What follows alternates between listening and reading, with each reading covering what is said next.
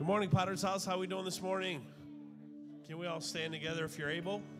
Um, I don't know about you, but I have literally just been in prayer and seeking the Lord this week, and I, I just know that the joy of the Lord is our strength. Amen. Come on, who can say that? The joy of the Lord is your strength. When you are weak, He is strong. That's the word of God. So we just want to welcome everybody that's online, all those that are joining us there, and we just want to thank you for being here today. Um, I, I've come expecting this morning. Can we just lay everything else aside? Maybe you walked in with something and you can't lay that out of your mind. Can you just put that aside this morning and just allow the Holy Spirit to speak to you today? We've come expecting God to do something new today. Amen. Can you just say amen? Amen. Let's worship Him. Amen. Father, I just pray, God, as we go into a time of worship, that Father God, our, our hearts and minds would be drawn towards you. God, you're all that we need. You're all that we you're all that we desire today. And Jesus, we give this day back to you in your name. And everyone shouted, Amen. Let's let's worship the Lord this morning. Come on.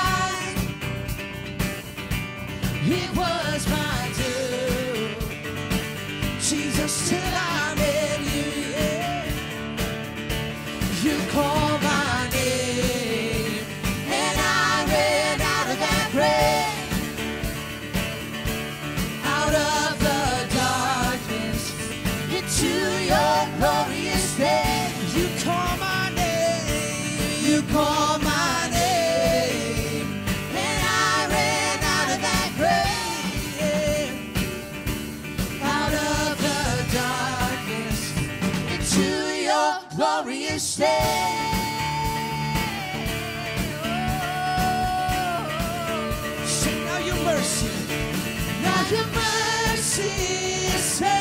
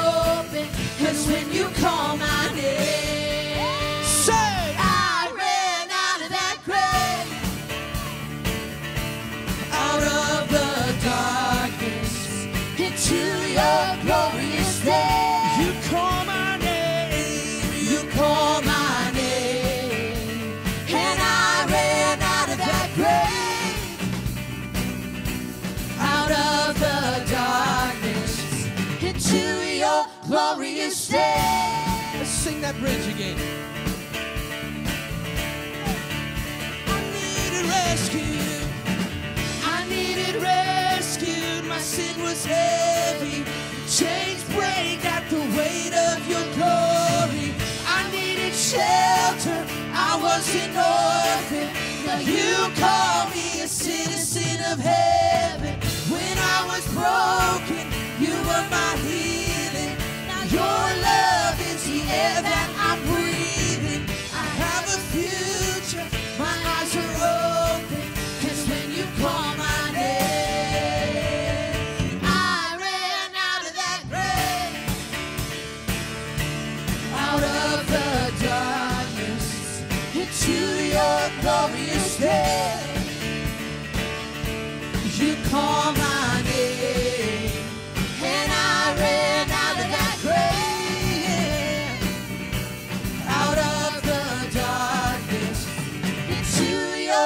glorious day.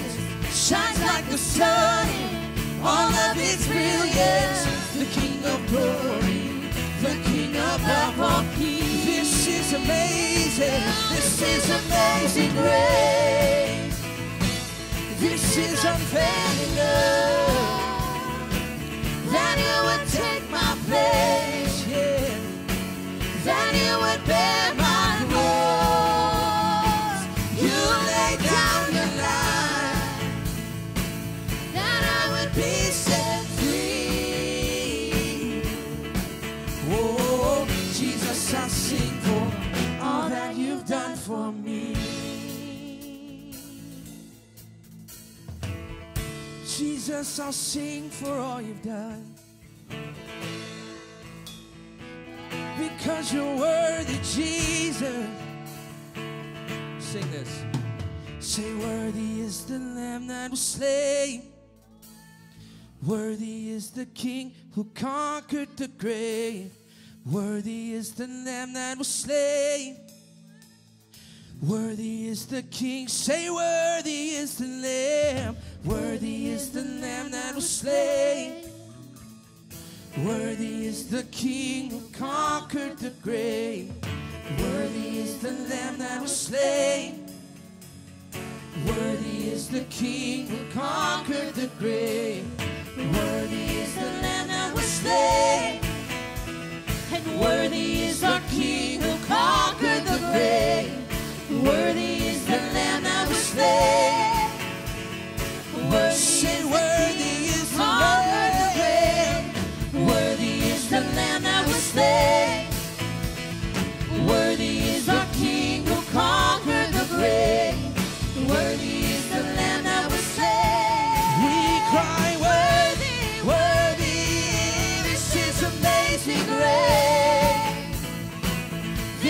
Unfailing love. That you would take my place.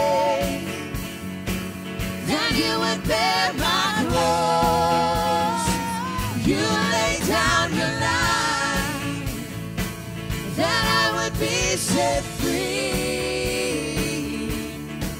Oh, Jesus, I sing for all that you've done for me.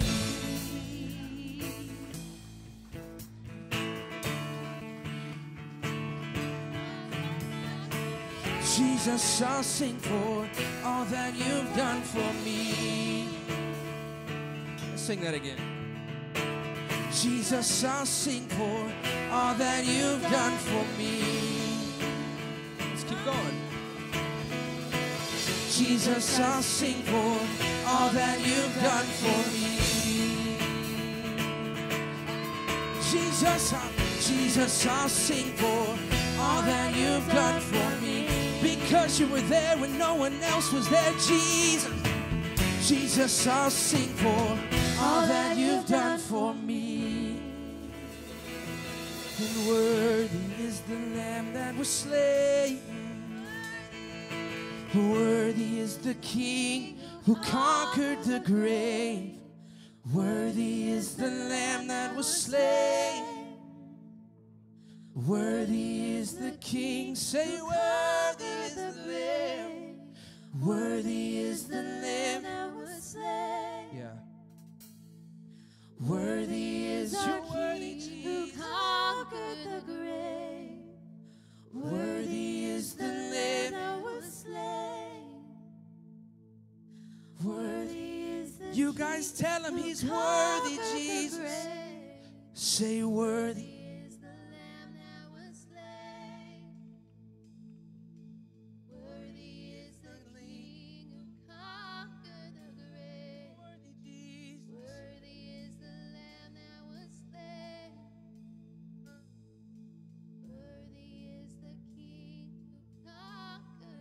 You are worthy of it all. You are worthy of it all. For from you are all things, and to you are all things. You deserve the glory. Sing it. You are worthy of it all. You are worthy of it all. For from you are all things, and to you are all things. You deserve the glory. One more time, as loud as you can, say you're worthy. You are worthy of it all.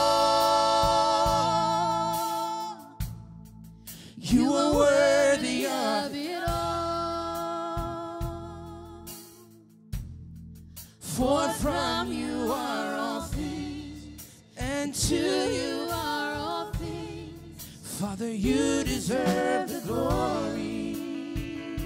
We're going to sing that again, but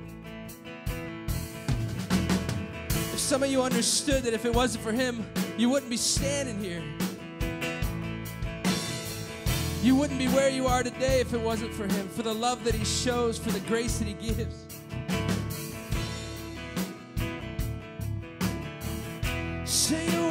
Of it all. Here we go. You are worthy, you are worthy, you are worthy of it all. You are worthy of it all.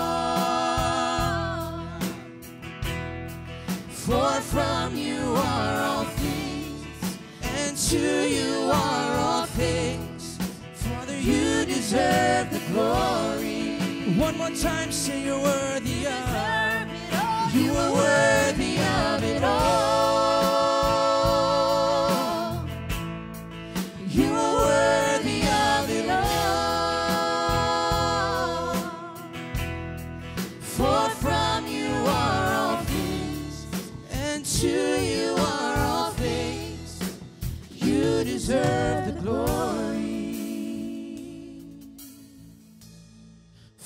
from you are all things, and to you are all things. Sing it again. For from you are all things, and to you are all things.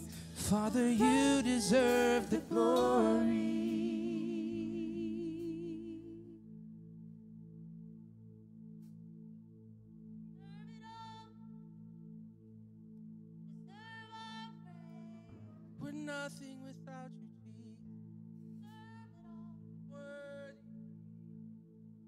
Keep saying, keep singing songs to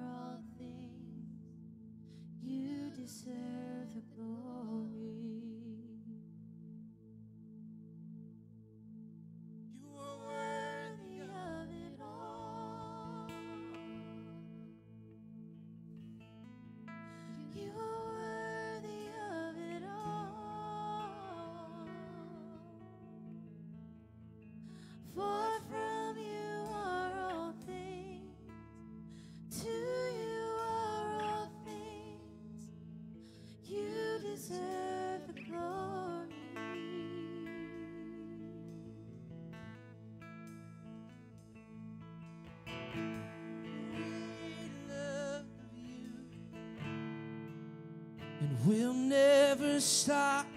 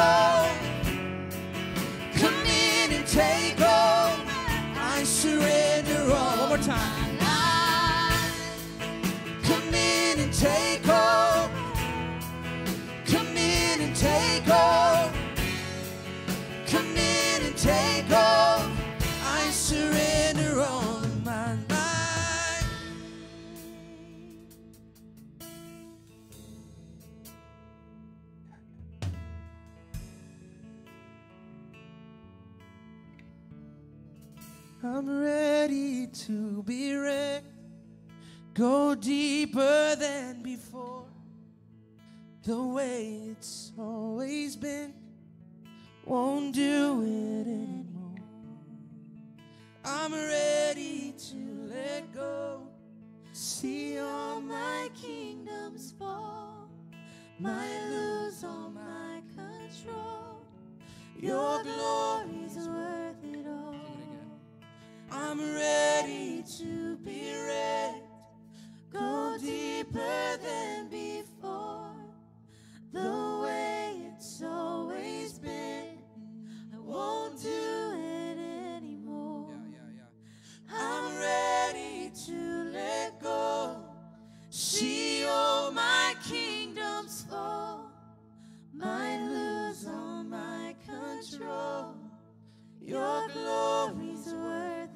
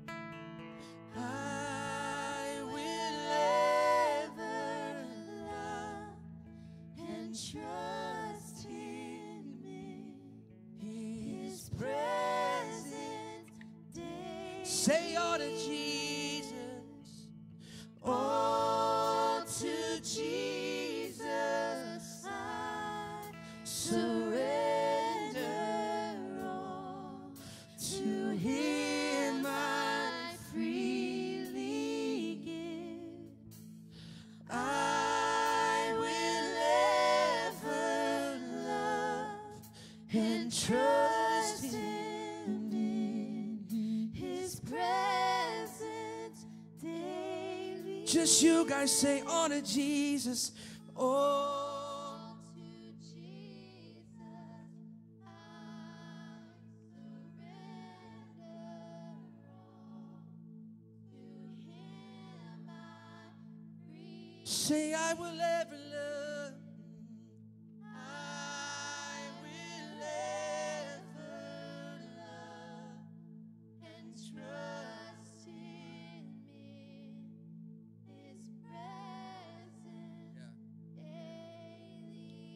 again, say, Oh.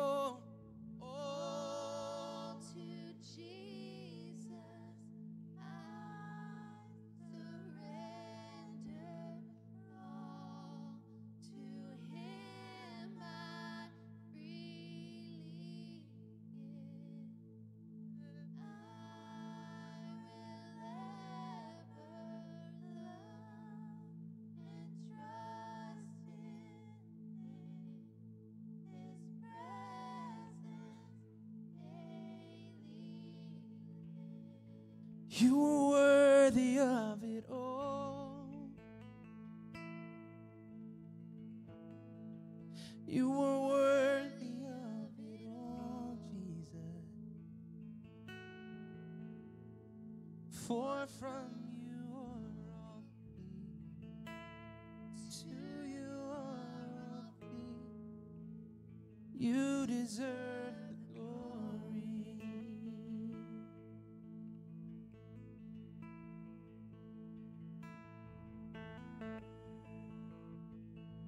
You are were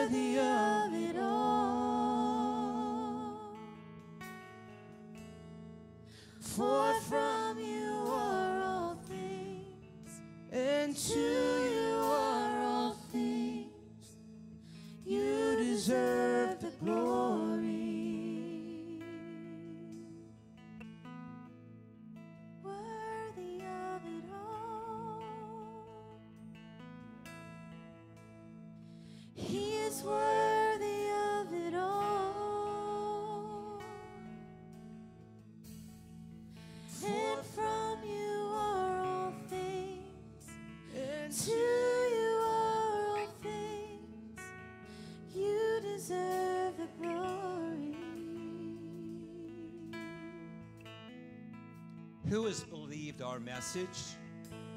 To whom has the Lord revealed his powerful arm? My servant grew up in the Lord's presence like a tender green shoot, like a root in dry ground. There was nothing beautiful or majestic about his appearance, nothing to attract us to him.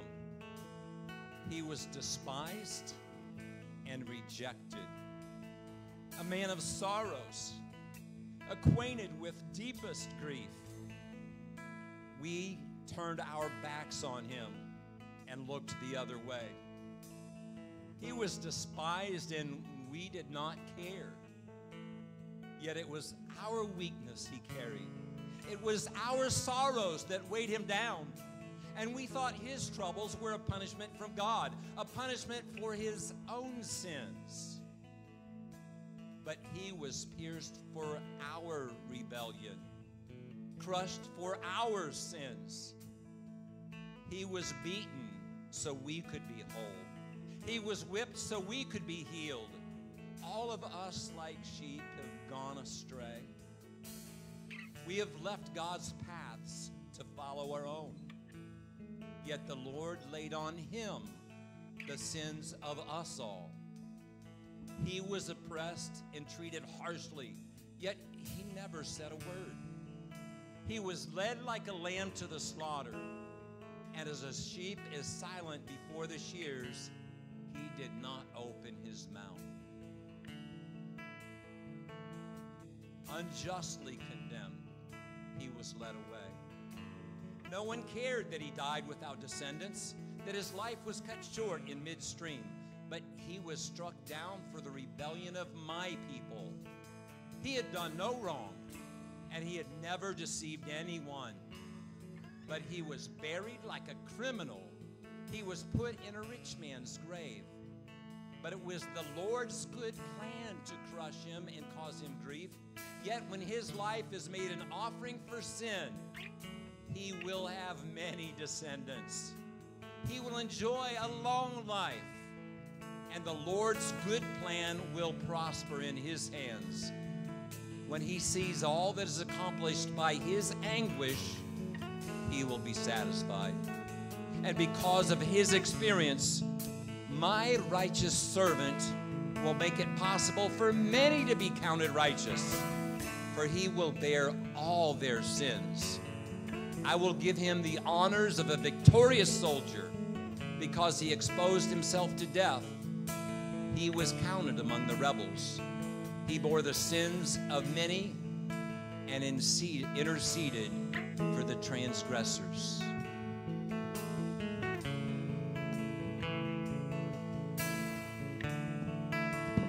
Worthy is your name, Jesus.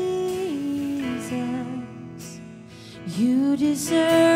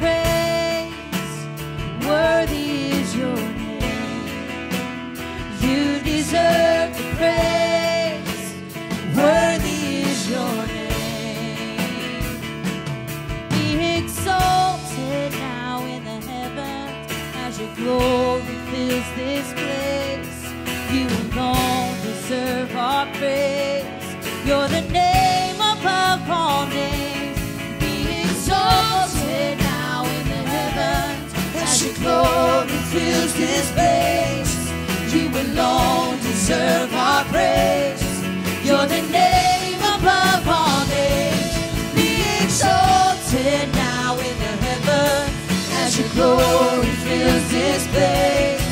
You alone deserve our praise. You're the name above all names. Be exalted now in the heavens as your glory fills this place. You alone deserve our praise. You're the name above all names. Be exalted now in the heavens as your glory fills you alone deserve our praise.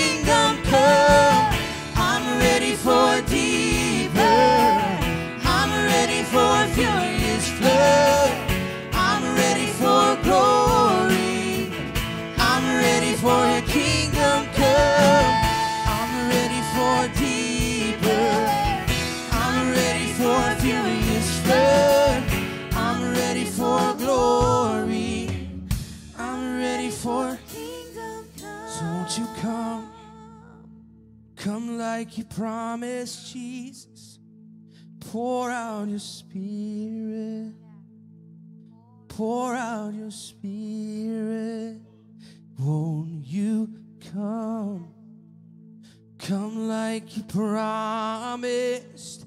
Pour out your spirit. Pour out your spirit. Won't you come? Come like you promised. We need you, Jesus. This city needs you, Jesus. We're desperate, Jesus. My heart needs you, Lord. We're desperate, Jesus. My soul needs you, Lord. My soul's desperate for you, Lord. My soul can't stand it anymore. I'm ready for you, Lord. I felt a, a great big weight on your shoulders. And you wondered, God, where are you in all of this? And I just heard the Spirit say, I just heard the Lord say, I am here. I am here with you. Come running to this altar if you are weary and draw strength from the joy of the Lord. Who needs to come to this well this morning? Just come running. Come on, I'm just, I'm giving an altar call. Just come running. If that's you, the impossible is in need. You're in need of the impossible. Just come running. Hurry. Who is it? Who am I talking to? Just come running. This altar's open. God, I don't see past this situation. I don't I don't see past this moment. I don't I don't know what to do in these situations. God, I've been I've been carrying things around far too long. Lord, there is so much that I have been carrying. Just get to this altar. If you could kneel, kneel.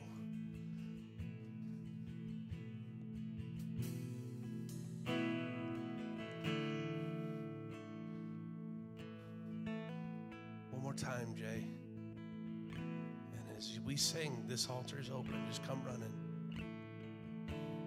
How desperate are you for a change? How desperate are you for a miracle? Come on. I'm ready for glory. I'm ready for a kingdom come. I'm ready for a deeper. I'm ready for a furious flood. I'm ready for glory. I'm ready for kingdom come. I'm ready for deeper. I'm ready for furious flood. I'm ready for glory. I'm ready for kingdom come. I'm ready for deeper. I'm ready for furious flood. I'm ready for glory. I'm ready for a kingdom come. I'm ready for deeper. Come on, if that's you, lift your I'm hands. ready for Are you ready? furious flood. I'm ready for glory. I'm ready for a kingdom come. I'm ready for a deeper Jesus. I'm ready for a furious flood. I'm ready for glory. I'm ready for a kingdom come. I'm ready for deeper.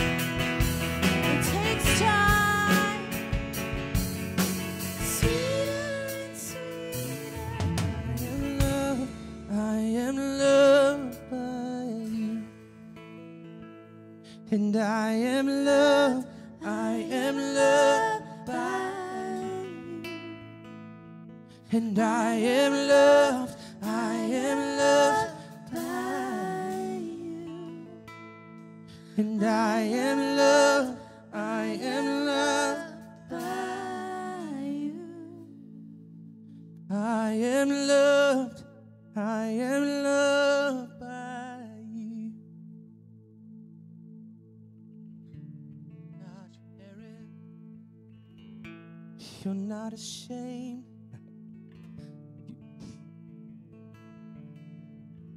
Of what you made. You're not embarrassed. You're not ashamed.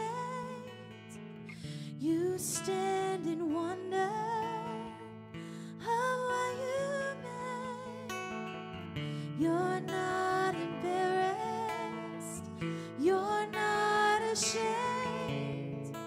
You stand in wonder. Listen, that verse right there, listen to me. Somebody needs to hear that verse right there. Because someone in this room, and I believe many, many, many people in this room feel like you're not enough. He's not ashamed of you. You are his creation. If that's you, just walk right down to this altar. I want to pray with you right now.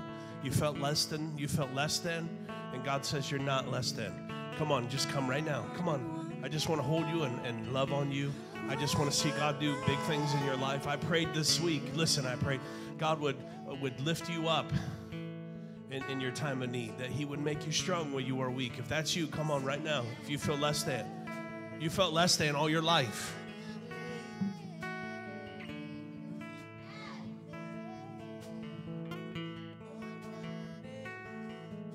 I, I'm, I'm going to wait because even those that have said I felt less than, you're just sitting back there going, I'm just less than. I'm not worthy of this moment. That's you. Come on, right now.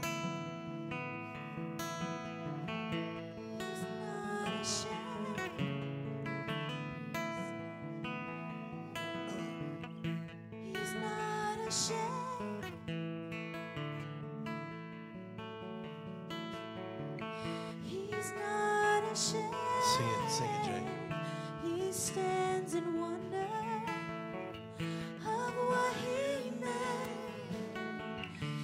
He's not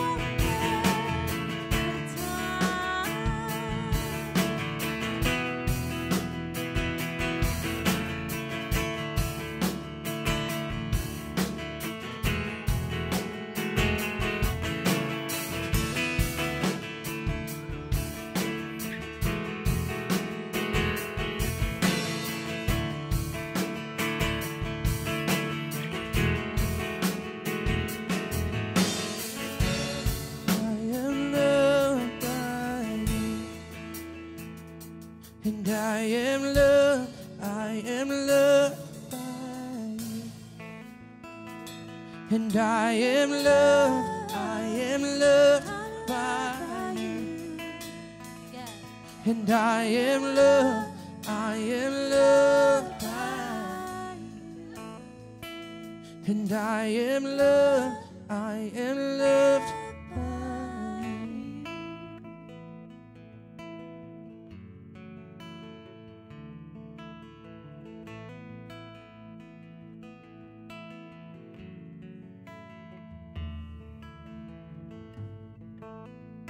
and I heard the Lord say, and I heard the Lord say, You have walked many, many journeys, but today's a new day. Today's a new day. We're a new covenant, a new promise. Many, many people have called you out. They have left you behind. They've thrown you to the side. But God says, I have never thrown you to the side. You are mine, and He is yours. You are anointed for today.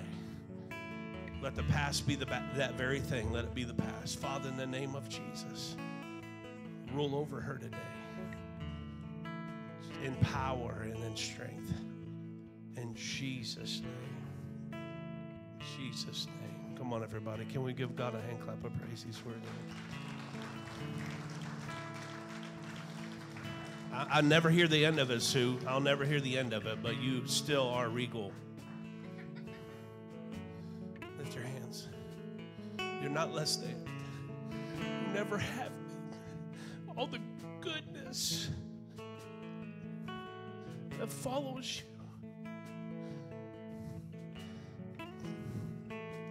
Use her in these last days, Lord, for your glory. She's willing, she's available. Use her, Lord. Anoint her from the top of her head to the soles of her feet.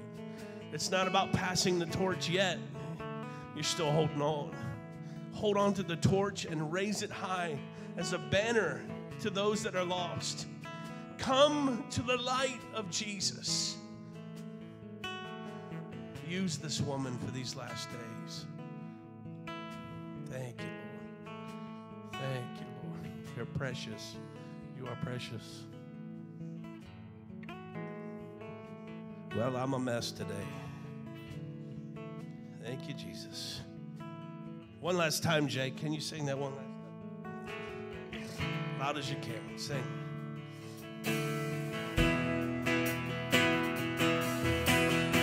Come on, lift your hands and let's worship him one more time. Give him 60 seconds. Come on. Sweeter and sweeter, sweeter and sweeter. Everything you want right now. Sweeter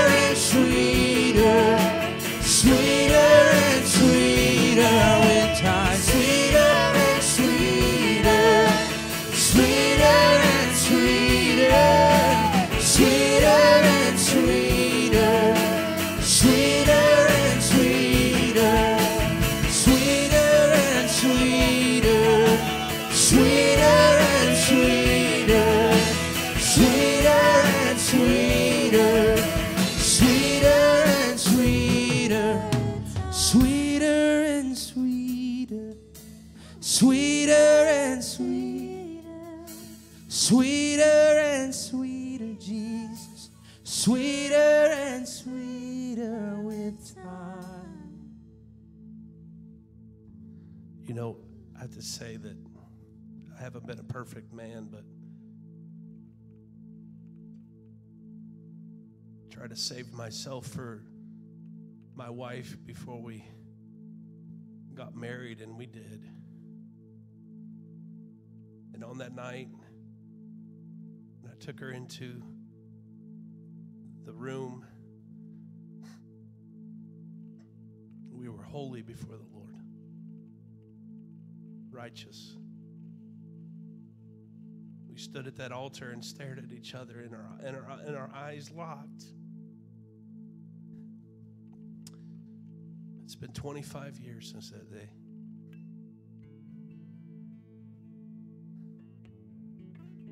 I heard the Lord say this, use this for a moment. He said, Listen, when you're in love with me,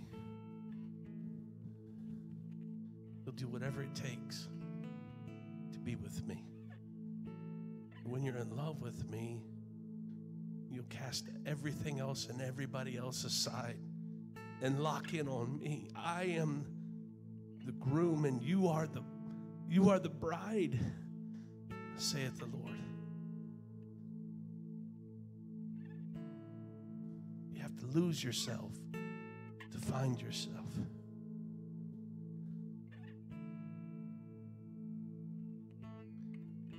I heard the Lord say so clearly this church today, said, Would you just would you just stand at the altar with me again?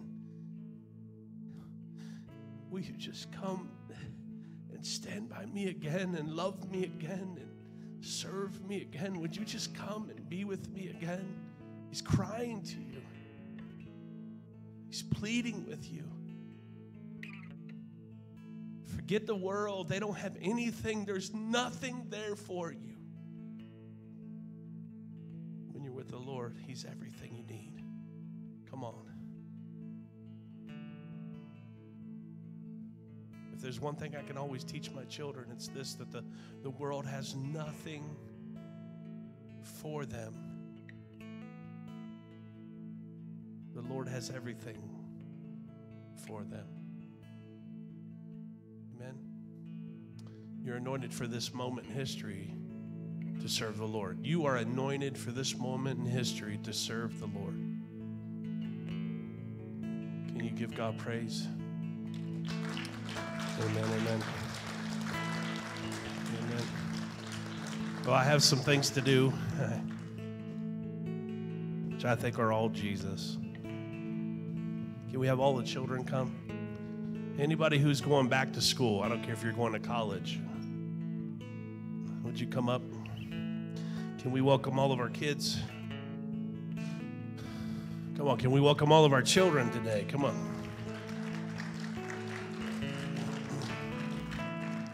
Pastor Tiffany, do you have anything you want to add or say? You want to say some things? You're good? Okay. Can I have all the elders, pastors, leaders? If you're a pastor, if you are anointed to be a pastor, come on up here. Come on up here, guys, all the way across. We got lots of kids. Come all the way across, brother.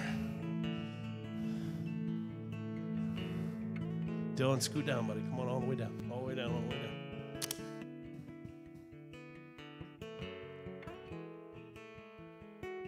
A lot of these kids are freaked out.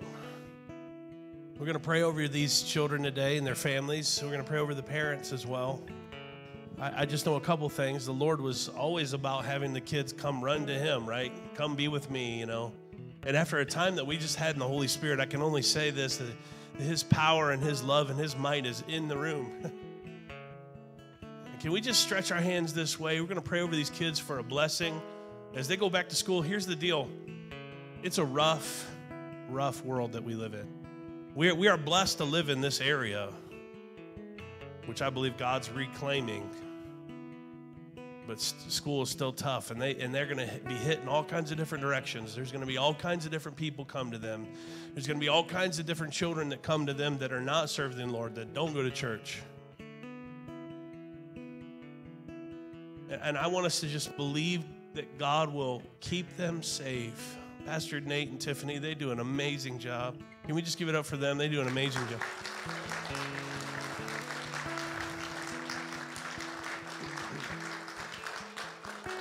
And I know that their heart is that they love every single one of these kids. You should see and hear all the messages that go back and forth between parents and these children.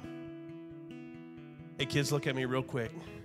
Pastor Nate and Tiffany love you. They love you. Love you. Jesus loves you even more. Amen. And He's going to keep you. He's going to keep you through this year. Amen and you're like, I don't want to talk about school. School is a couple weeks away. I don't want to talk about school. Listen, we're preparing the way of the Lord in your school. Amen. Let's let's stretch our hands this way. Let's pray over these that are here. Father, in the name of Jesus. Come on. Come on, let's really pray, folks. Let's really pray over these kids today. I bless and anoint each child that's that's here and those that are not able to be here, Father. Bless them, keep them, strengthen them, touch their teachers, save their friends, save the lunch lady, Lord. I pray, God, that you would call all men and women that, that teach these young people that, that are in their pathway. I pray that every single step is ordered by you. I pray for every teacher. I pray, God, for, for, for Brittany. I pray, God, for the Mansfield uh, uh, Christian School. I pray, God, for all the schools that are involved in this room Shelby and Mansfield and Plymouth, Crestline, Crestview, Madison. Lord God, touch every school in this area. And we lean into you, Lord. And we surrender our lives to you. And these children give their hearts and their minds and their lives to you, Lord.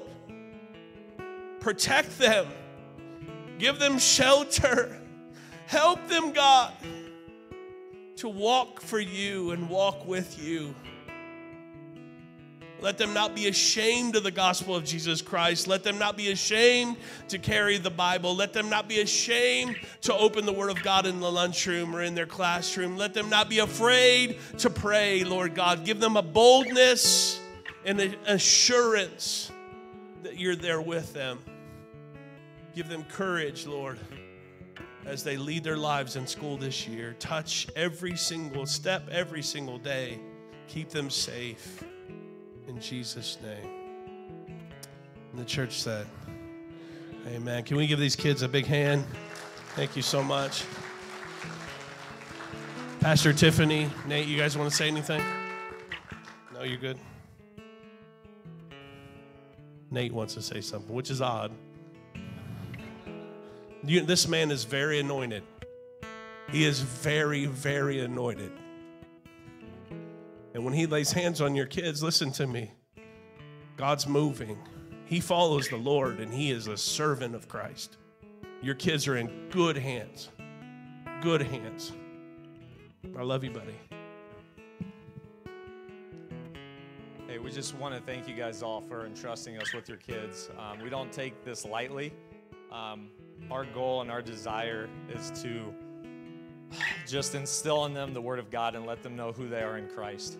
because when they go out, like Pastor Steve said, they taste they face a tough world, a lot, more, lot tougher than it was when we were kids. And we just want to instill within them that they know who they are in Christ, that no matter what the world throws at them or no matter what the world says about them, that they know who they are and that God loves them. We talked a little bit last week about it doesn't matter what people say about you.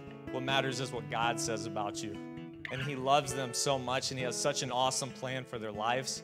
I just want you guys to know that we pray for your kids all of the time. And I know God's going to do big things through them. And uh, it's just going to be awesome to see. I'm excited, like, for what our church is doing. And I think our church is going to do awesome things for the Lord. And through these kids, you know, they're the next generation. And it's our job and our responsibility to teach them the Word of God. Um, not, and not just us as teachers, but the parents and everything, grandparents, aunts, uncles. That's our, that's our job is, is to teach them the Word of God. And I just encourage you guys just to get in the Word every day. I know life is really busy sometimes, but just get in the Word every day with your kids, whether it's in the morning before they go to school or at night. I mean, the best thing to do is right, you know, before they go to school, pray with them, encourage them, love on them, because that's what they need and that and just let them know who they are in Christ. And uh, we're gonna see awesome things. But I just want to let you guys know that we love you and uh, we care for you guys, and we're excited for what God's doing. Can we give these kids one more hand? Amen. Thank you, Pastor Nate. You guys can stay up here with me if you'd like, but you can go ahead and go on down if you want.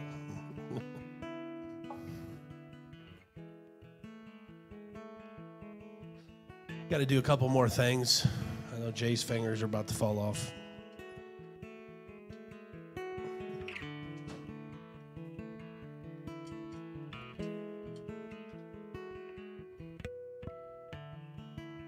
I just uh, I felt impressed, um, and maybe you, you decide you came here this morning. and You're like, I don't, I don't want to give a testimony, or I, I don't do this very often, and it's Sunday morning and you got visitors and you're you know you're trying to like put your best foot forward you only get one chance to really you know impress someone to come back to church because i i, I don't know i feel like we live in a seeker friendly world like if the lights are cool you know like one, at one time i looked up after i closed my eyes and the lights were all like like a purple color and they matched Jeremy's shirt. I thought that looked really cool. But that isn't what keeps me coming back to church. You see what I'm saying?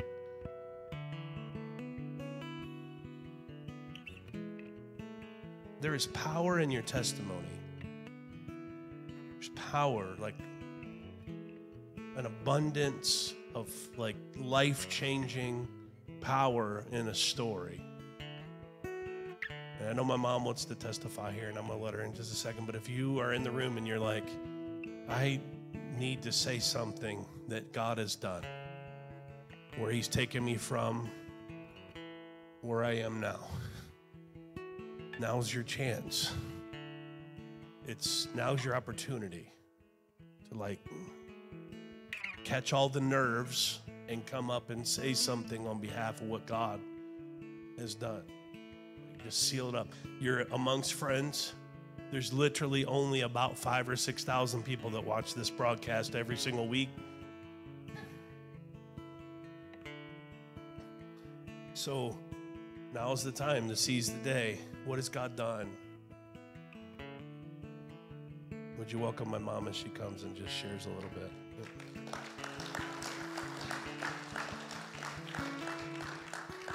Amen.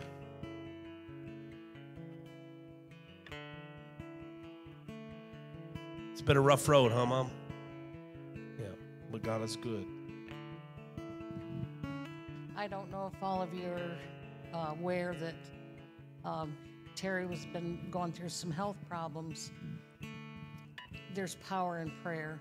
There's power in the body of Christ sharing and praying for each other. Um, Terry, in May, was diagnosed with bladder cancer. He had tumors all over in his bladder, and the doctor wanted right away to remove them and see if they were cancer. And the test results came back and said that he didn't. I said, Is it first stage, fourth stage? What he said, bladder cancer is not diagnosed like that. It's either low grade or high grade, and that being the worst. And he showed me the report, and it said he had high grade bladder cancer. And he wanted to start treatments right away. But the very day that after he had the tumors out, something was wrong with Terry's knee and it swelled up real big and he had some kind of infection going on in his knee. In fact, it went septic and they couldn't start any cancer treatments. They had to operate on his knee. He was in the hospital almost a month and the cancer doctor said that he couldn't start any treatments until Terry was completely off all the antibiotics and the medication. And so we had to wait this long. And this past week, he went in to have another scope done to see where the cancer stood and to start the treatments. For some reason, and he's never the doctor never would let me stay in there, but he didn't even ask me to leave. So I was in there and saw the little screen where he was doing the scope, and all that was in there was places where he took off the tumors and that he where he zapped the little places that were starting, the lesions like that were in there. And the scars looked clean and they were just like falling off. And he said, It looks really good. He said, I don't see any new places. And after he was done, I said, Well, when do you start the treatments? And he said, Did you look at the same screen I did? He said, there wasn't any more cancer in there. He said, We got it all.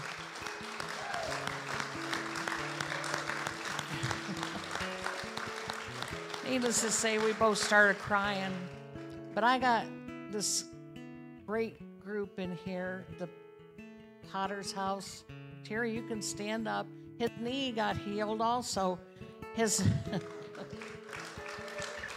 hard for him to stand up.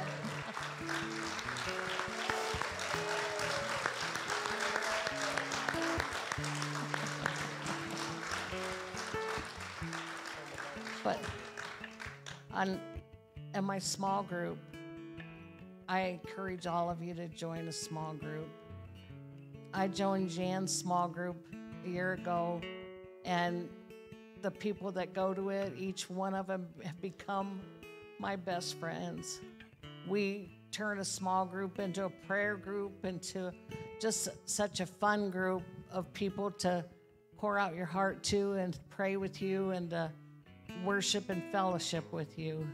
And I love each and every one of them. I also rely on our Potter's House prayer group on Facebook. If you haven't joined that, join that because the more people praying for you, seek ye first the kingdom of God, and all these things will be added unto you. I encourage you guys to keep coming to church, to join a prayer group, join a small group. Just pray because God really answers prayers. Thank you. Amen. Can we give God a hand praise? Um, you want to share? Just anybody else get ready to share because I'm going to come at you real quick in rapid fire order. You don't get as much time as my mom because she's my mom. We're coming up here. I suppose it's a testimony, but it's also a reminder. Um, a couple, a week ago, a couple weeks ago, I got my last name officially changed to McKenna Ray Klein. And um, I want to use it as a reminder because my family had gathered and we had this big celebration. And it's a reminder that if on earth, if my family can celebrate me taking on the name of my dad, how much more does heaven celebrate when you take on the name of Christ? They have this big homecoming party whenever a soul receives Jesus Christ as their Savior. And I just want to remind you that you are all heirs to a heavenly throne, that you are all children of the creator of heaven and earth, the one who put the stars in the sky. So I suppose that's also a testimony because he's back. Not he didn't create the heaven and earth, but but yeah. Sometimes I look at him like he does, but yeah, just a quick reminder. Amen. Just a reminder for you, a little prophetic for you, right? Just receive this. What you just did is what you're called to do. That's you. That's what you're called to do. History and politics and whatever the institute is over there, that's just part of you. This is who you are. You're called to ministry. Come on up.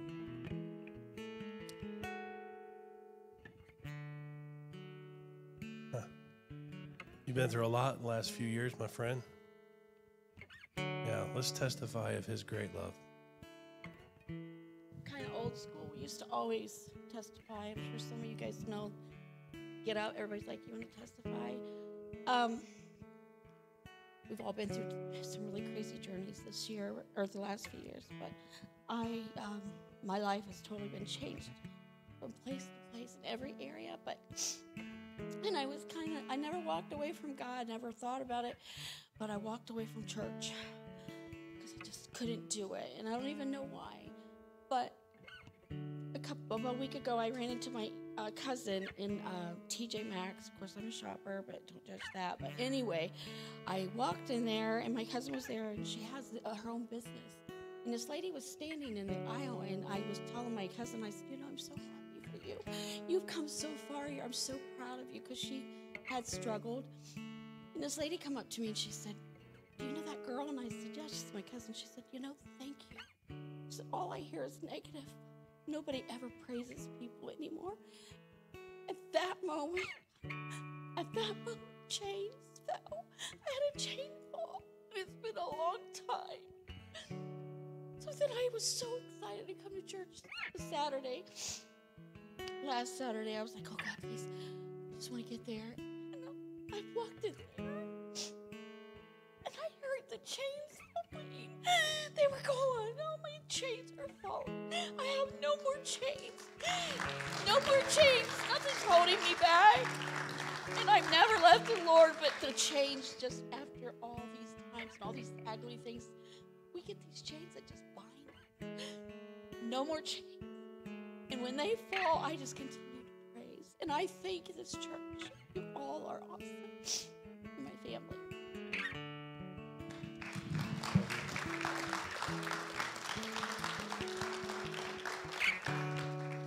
Amen. Going once? Yeah.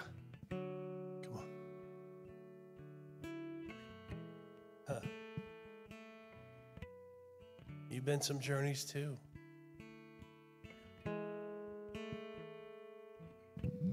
This is actually the testimony of my daughter. Um, this, I will try to speak the words that she spoke, but she testified to the rest of her family after service last Sunday. She sought healing for her back. She has had some, her legs are not the same um, length, and so it gives her a lot of really bad back pain. She's struggled with this for four or five years, ever since she was really little, started to really grow. And it would hurt so bad that she would get nauseous and she just struggled with this.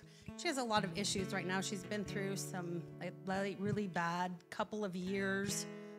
I don't want to speak that over her, but she's struggled with some things. The enemy has really sought to destroy her and, and lie to her and deceive her. And but last Sunday she asked God to pray, or she asked us to pray, and that her back would be healed. And she, while she was standing here, um, she said it felt like her legs were really wobbly and her back was really tingling, and it felt like like God had reached in to her back and just pulled out a bunch of stuff. And she went home with no back pain. She had zero back pain when she went to go sit down. And to her, that is a really big deal. And the fact that she that she spoke it to uh, everybody in her household, and she's not really a social person, and she would never, she would never come up and testify, but she did to our family, and I wanted to. It's really weird that you have this testimony time because in our small group, I said I can't wait to tell you Avery's testimony, and you did testimony time this Sunday, but. That's how we overcome by the blood of the Lamb and by the word of our testimony, and it's powerful. And look what the Lord has done.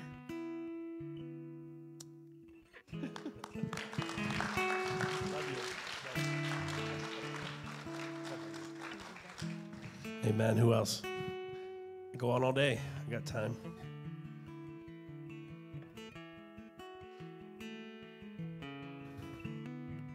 Rhonda?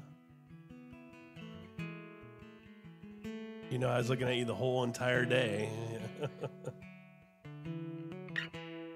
Rhonda's one of the coolest people to ever meet. If you do not know her, you need to get to know her. She's so awesome. See you later. oh, God is faithful for sure. Um, been a journey too. So I, I, I just want to briefly say, as of late, what the Lord has done. Um, I have, I was doing private home health care and for a couple years, and um, and that was what the Lord opened up for me at that time. But I just, I was like, Lord, I, I think I need to find something more. I don't know, just, it was getting difficult. Um, so, anyways, I, uh, I just, the Lord told me to give my resignation to the last job, and so I have been living on faith.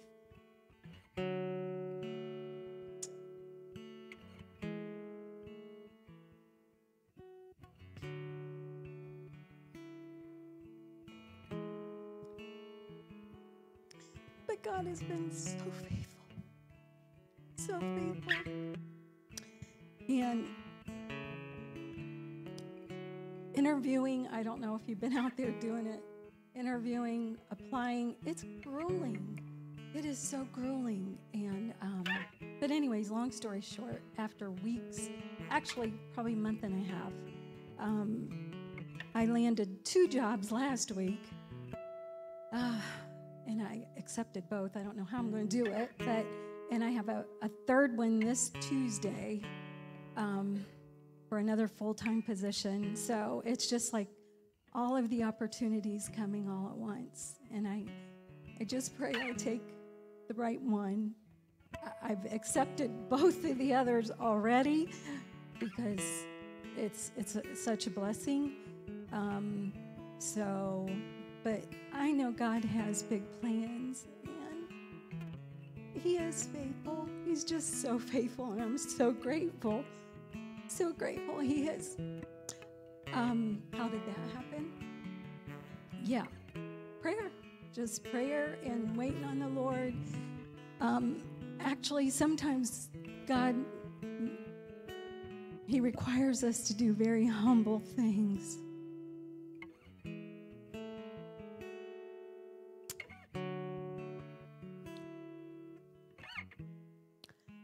Find out what's in your heart when you're squeezed.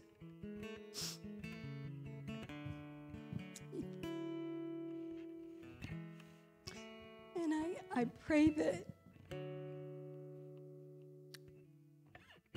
that I'm the gold that he's shined up.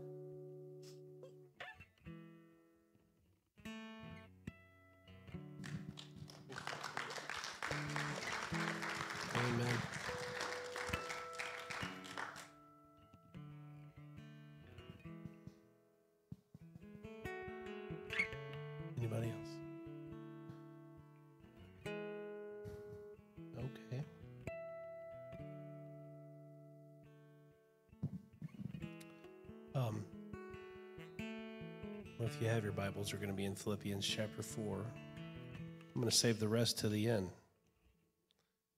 You give Jeremy a hand and this worship team. Thank you for serving and sticking it out with me. Um, know I'm missing something else, but it's going to have to wait until I remember. Lord, bring it to remembrance. Amen. If you're new here with us, uh, this is a unique service today, and this is not uh, a normal day, but I don't like normal days anymore, so um, I guess it's just getting older. I don't know. Uh, I do have something I want to read to you before we jump into that. I was really um, impressed upon me yesterday. I know they had a youth service over at Abundant Life, and we've really connected well with the Abundant Life Church and Pastor David over there. And uh, you guys had a good time? It was a good time. And uh, I know that the youth group is growing and spiritually growing and physically growing, and uh, they're getting taller and uh, they're growing in number. But um, am I missing something, Jan? Am I good? Just to go? Am I missing something? Am I good? Praise the Lord. She wants to stand up. All right. Praise God. I know. I just asked if I was okay. Am I missing something? Okay, cool. Keep on going. Keep on going. Keep on trucking along. Um, we have been uh, in contact with the Abundant Life Church for several for several months, almost a year. Uh, Pastor David over there and I, we are connecting. Uh, we're calling ourselves the Wonder Twin Powers. Um, we're trying to we're trying to uh, break up the ground that the enemy has tried to steal away from this region. So. Um, you'll probably see him a lot more. I might go over there myself and just spend some time with their people and we want to connect together on a bigger level. Anyways, um, uh, I, heard, I was impressed on the, of the Lord uh, just just to before service, and really just thinking about what happened last night and what's continuing to happen with our youth. Is that the Lord wanted me to just share with you um, that He is so proud of this generation, those that serve the Lord. Um, it's really cool to see the next generation coming up that serves the Lord. You know, we we we pride ourselves on we were the ones that would stay late on a Sunday night and in the altar, and those times have kind of kind of went by the wayside. But I've never seen the hunger like I've seen in this generation for God. We might have the the, the society might have, have literally written them off, but this this generation is so hungry for Jesus and that's where uh, I want to just be. I want to share a scripture with you and with this youth and with the uh, with this generation because we're in this generation. We're in this time. You're you're alive. Say I'm alive. If you didn't say you're alive, that means you're dead. So something's wrong with you. All right. And if you didn't get into worship this morning, which I was just uh, taken back, I'm not trying to meddle, but something's wrong with your feeler. If you didn't feel the presence of the Lord this morning.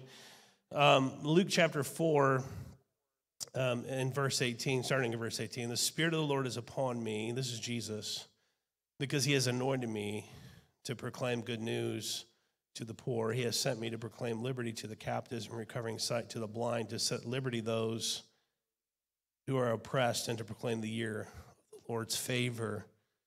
And this literally is out of Isaiah in the words that he spoke is, is, a, uh, is a reflection of the Spirit moving in the church. And so I just want to say that the Spirit of the Lord is on this generation. He's here. And so we don't have to rely on our own gifts and talents and abilities. We, have, we can rely on the Holy Spirit. Amen. Would you pray with me before we jump into this word? I really I feel passionate about this. I I know what time it is, so please just be with me. I'm very, very much going to run through this like a tornado. Let's pray. Father, I thank you for this day. Thank you for the spirit that's moving in here. I thank you for this worship. I thank you for these people. I ask you bless this word. Uh, give me the strength, Lord God, right now by your Holy Spirit to preach and say the things that you want me to say. Let your will be done right here at the Potter's House in Mansfield. In Jesus' name, amen. So, the, the term that always gives me comfort in the word is that he says that I am with you. There's something about the term I am with you, or the sentence, or the phrase I am with you, meaning, you know, we can be we can become very lonely in our Christian walk sometimes, right? And I know I know I myself can be super lonely at times even even though I have family and people around me. I can become super lonely at times if I just hide myself away. And this walk sometimes is a lonely walk.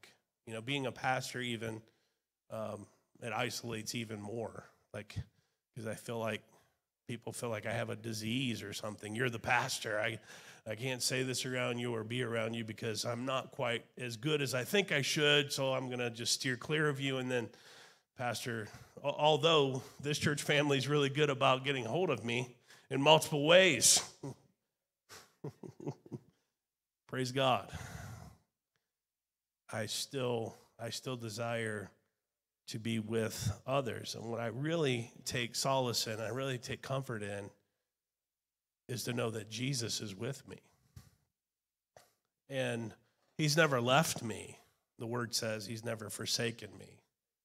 Paul, even being shipwrecked and left for dead and chained to the ship and, uh, you know, crashed and up on the shore, he would say things like, I've been crushed, or I've been, I've been, I've been pushed down but not crushed. I've been those, so, so there's a there's a point in our lives where we uh, we have to realize the presence of the Lord in your midst. The Bible would say, "Beheld him" or "Behold him." He's here. Taking a moment to understand that His presence is very much now that his spirit is very much moving on the earth. He hasn't, li- he hasn't lifted his spirit from us or away from the earth or away from our lives. His spirit very much is still here. He ascended into heaven, and here's the cool part because this is the piece that gets me every time. Triune uh, God is the, the Father, the Son, the Holy Spirit. And when we think about the presence of the Lord, where He's at, He's everywhere all the time, every minute of every day every second of every moment of every day. And, and to understand and to be, behold him or beheld him, one of the things that we, we that we, we have a problem with is that we, we, we go through a situation and we say, Where is God? That's something that we, we constantly are, are, are, asking ourselves, where is God in this? Because here's the, and is the truth, if we were just to be honest, uh, that we want it to go a certain way. And because it doesn't go a certain way, we think, where is God in all of this? And we say, where is God? But then we don't cry out to living God, testimonies of God's mercy and his love. And, and, and, and, and my precious friend Rhonda said at the end, she said, is because I prayed. He showed up. He showed up in power and in might well, if I don't pray, he still knows my needs, right? But th- there's a there's a constant communion that has to happen. There's a constant relationship that has to happen. Prayer is more about is more about uh, this this translation towards him or this this this this conversation towards him. It's more for you and not so much for him. It's connecting yourself to a holy God. It's a connecting point. And I'm just going to I'm just going to take a, a second to just say that every single moment of every single day there's something perilous that's getting ready to happen or is going to happen or has happened or is happening. There's all kinds of different things. They've got you know they've got even new strains of of viruses you know?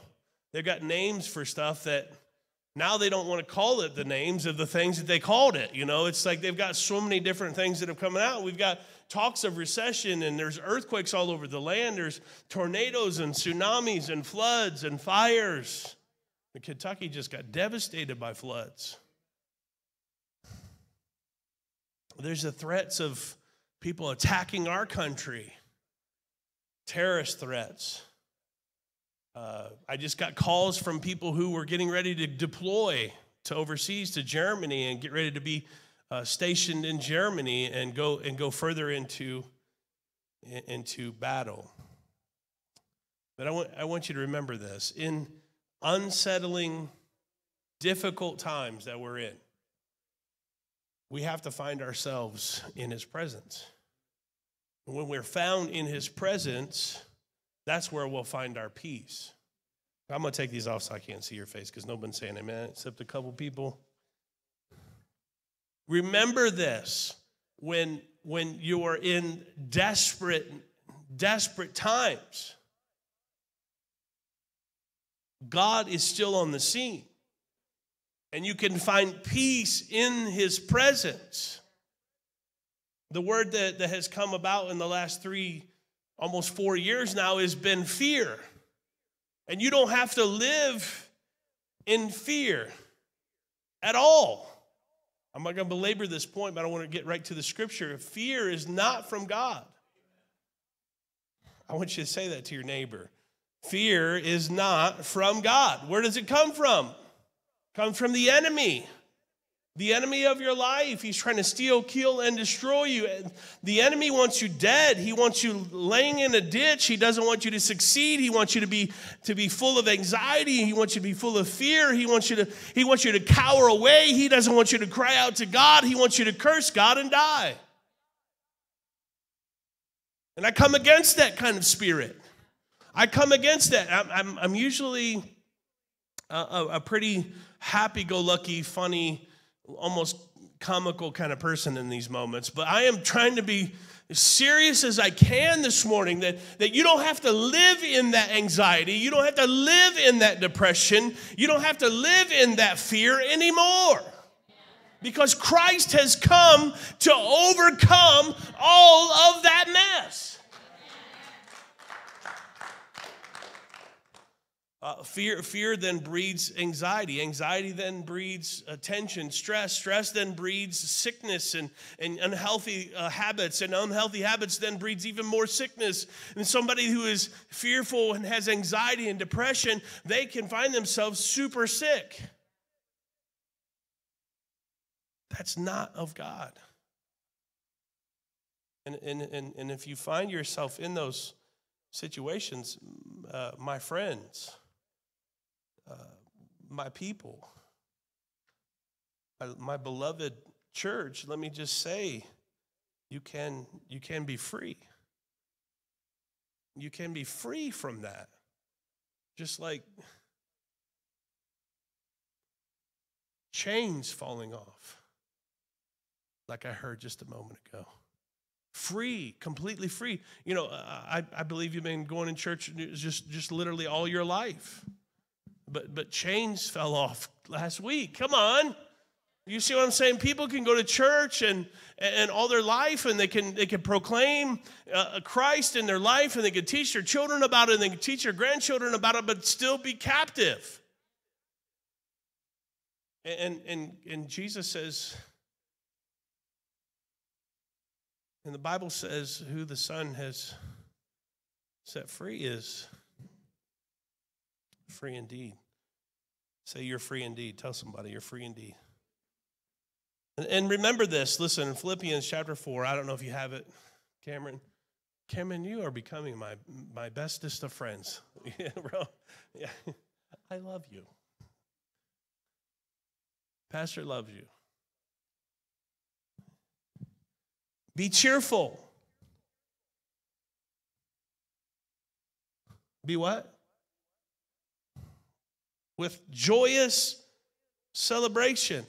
Different translation that you probably haven't heard before, but listen to this. In every season of what? Life. Are you alive? Breathe.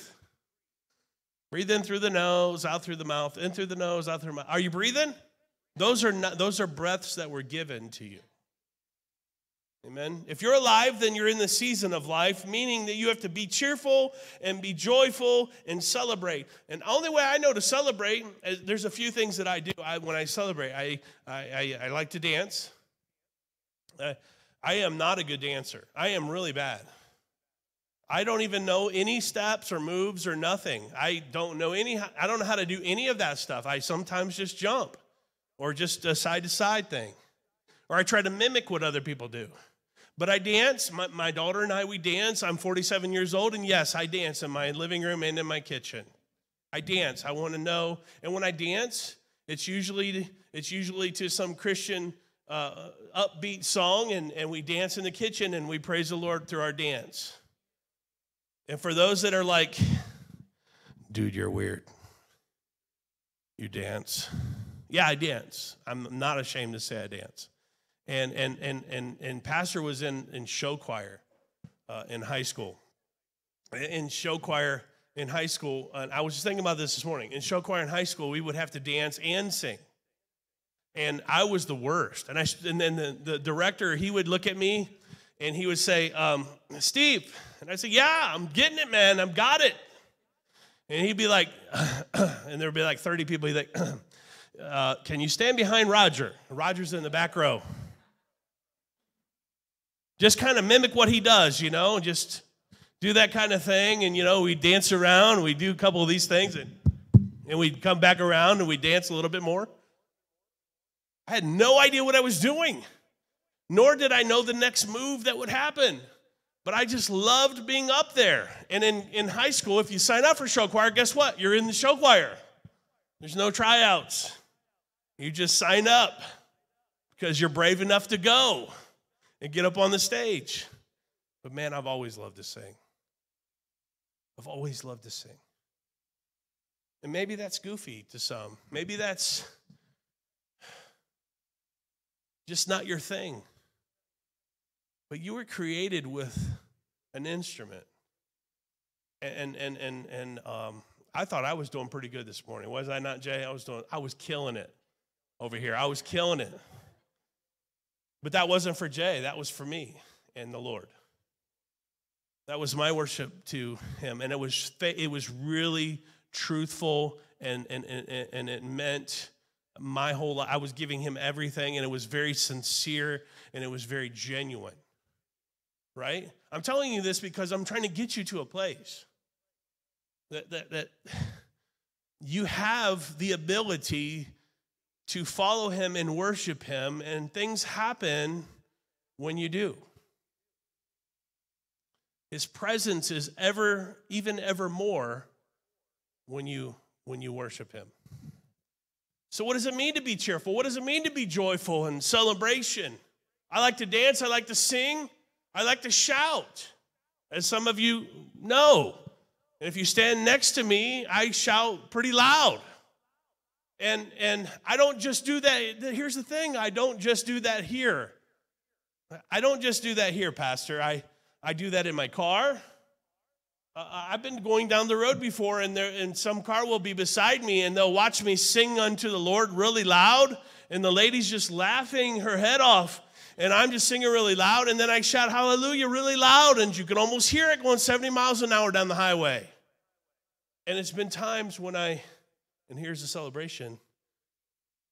Celebration is not dance and shout and sing all the time. Sometimes it's letting go of stuff that once held you. Celebration is have you ever had a big garage sale? And you're like, I'll gladly trade you this for 15 cents. and you're like, yes, it's a celebration.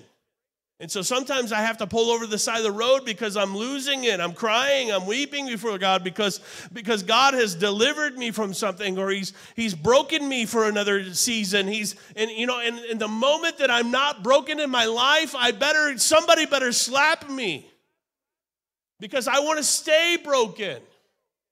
Because I know in my brokenness, he can use me in my brokenness, in my in, in, the times when I have let go of things, that's when God greatly uses me. God, I want to be broken. Somebody say that. I want to be broke. I want to be broken. So cheerfulness and joyful celebration in every season of life is a brokenness. All right, the second part of verse four. Ready? Um, let let joy overflow. I'm just going to read it. For you are united with the anointed one. Whew, almost have to stop. You are united with the Holy One, the anointed one. And so let joy overflow. Let gentleness be seen in every relationship. Did it say just the ones you want to be gentle with? Every relationship. For why? And this is your accountability. You want accountability? Why are we supposed to be gentle in every relationship? Why? For the Lord is ever near. That should put a fear in us, right? A holy fear. Like, oh, daddy's watching. You ever done anything? Me and my brother, we go at it, smashing each other into the ground. We hit each other in the face. We do all kinds of stuff. Body slam, DDTs. Uh, we do power drivers. We do all kinds of stuff. But when daddy would show up and, whoa, sorry. I love you, Richie. I love you so much.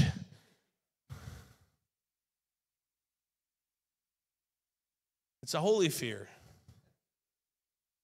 Verse 6. Don't be pulled into different directions or worried about a thing. But what? It says, be saturated in what? Prayer throughout each day. Be saturated. What's something to be saturated? I mean, It's like overflowing, like completely soaked in. Like, do you ever get a sponge and you just completely soak it in water? That's how we're supposed to be saturated in prayer throughout the day, ceasing, never ceasing to pray. We're always in prayer, offering your faith filled request before God with overflowing gratitude. Faith filled request. Have you ever said a prayer and you're like, yeah, God, if you do it, it'd be cool? Faith filled request is a different kind of request. It's a different kind of request because it has taken you from a place and transitioned you from a, from a place of just believing in Christ a little bit to completely and total surrender in that moment. God, I don't know what to do in this moment, but you're going to take me to this moment, and I'm going to be faith filled in my request made known to you, Lord. And it's not going to be. It's not going to be um, a, a, little a patty cake type prayer. God, I am completely sold out and I'm going to have a heart of gratitude. What does gratitude mean? Gratitude means I'm going from a place that is, that is I thank you a little bit, little, I'm clapping my hands, thanking you a little bit, to a, a, a, an overabundance of applause and gratitude as to what God is doing in my life. That is a game changer and you're like, God, I need you to change the situation in my life, your prayer life needs to be changed. I'm, I'm preaching to you right now as a pastor. You want something to break through, your prayer life needs to change. Am I right, Pastor? It, it needs to change, radical change. You need to, you need to uh, allow God to transform your prayer life. Use that word again. Last week we talked about transformation. We talked about not, not just conforming to the world, but being transformed by the what? By the renewing of your mind. And how do you renew your mind? You pray transforming prayers, faith filled prayers. Amen. Even the siren thinks it's good.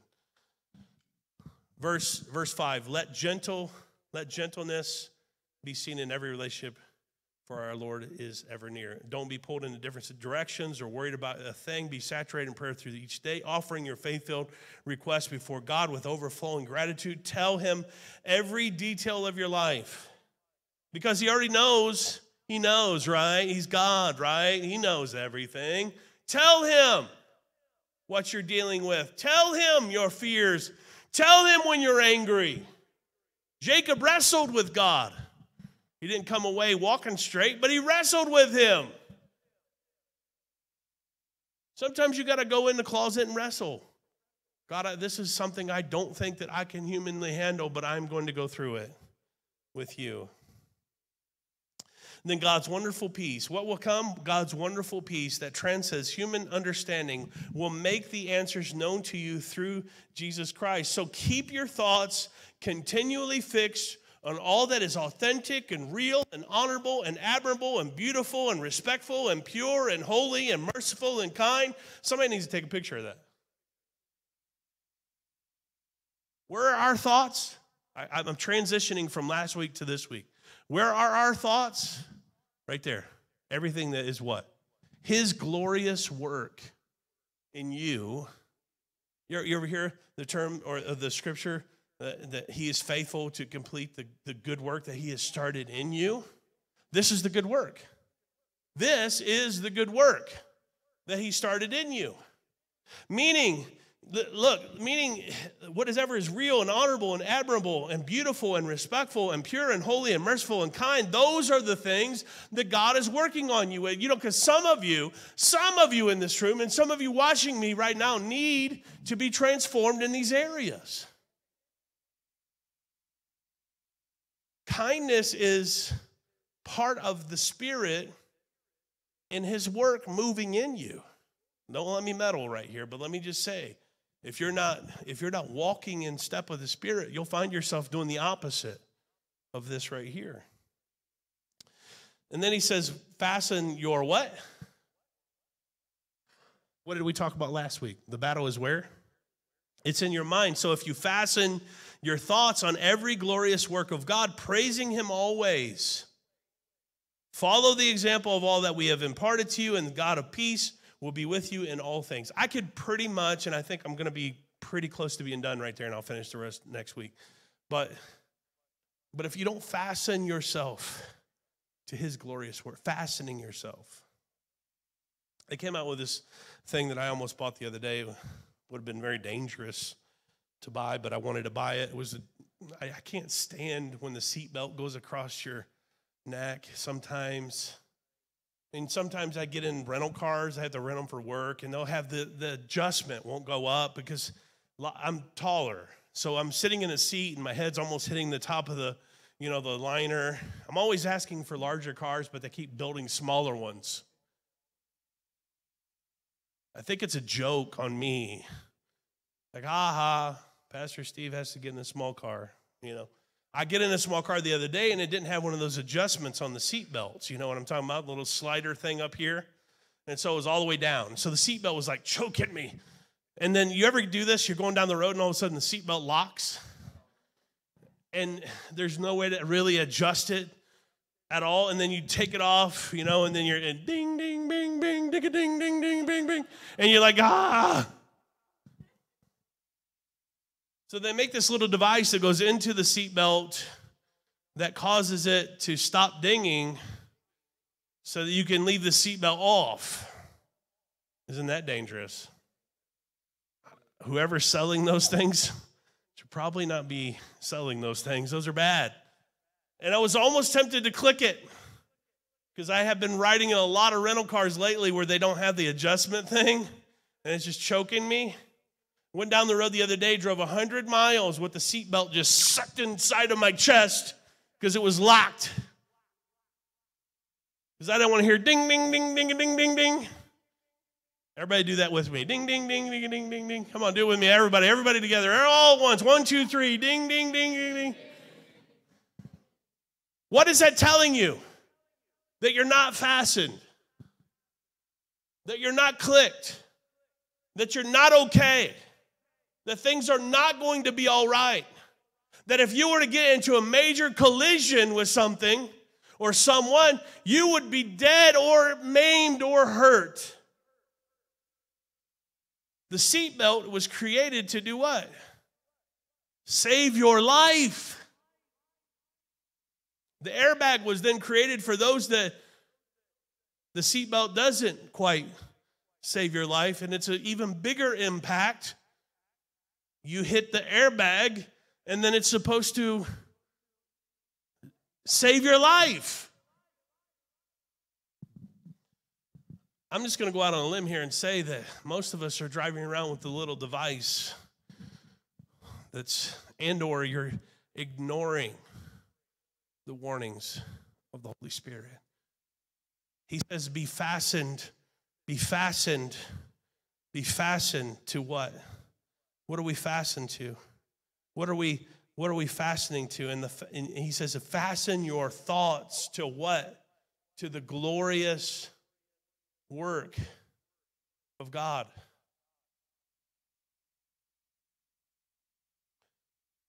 Most days, I'm fastened to something else. Can I be honest with you? I think that everybody would say this. I'm fastened to the, the haste of the day. I'm fastened to the next moment. I'm fastened to the next problem. Why are we just task managers? Why can't we be on the offensive sometimes? Why can't we schedule time instead of time scheduling us? Why can't we take why can't we take a hold of this thing called our life and say I'm in control of this as far as what I am in control of and I'm going to give God everything that I am and in this moment guess what you don't get this time from me I'm giving that to God it's a time for God. It's a time it's a time to pray. It's a time to praise. It's a time to worship, fastening my thoughts not to my problems, but to his glorious work, will then bring about, come on, this is prophetic, it will bring about praise, it will bring about adoration, it will bring about a new change in my life. I'm not going to go from this place any longer. I'm not going to stay here any longer and hear the ding, ding, ding. I am fastened. And I'm ready for collisions.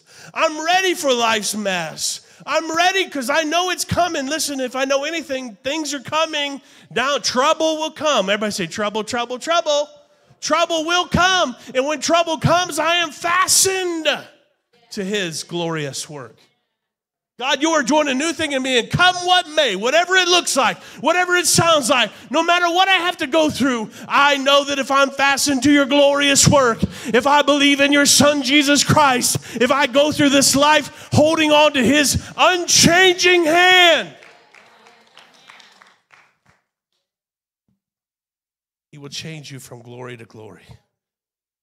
Somebody give God praise. Come on, really give him praise.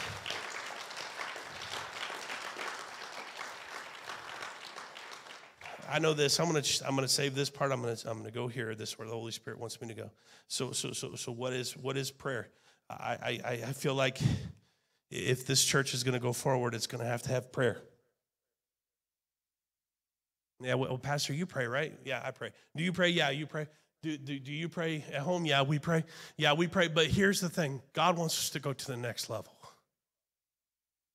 I'm not about maintaining a building. I'm not about maintaining a ministry. Maintenance is, is, is, is for the it, it's for it's for some. It's it's not for me. I've never been a good maintenance man. I'm not a maintenance guy.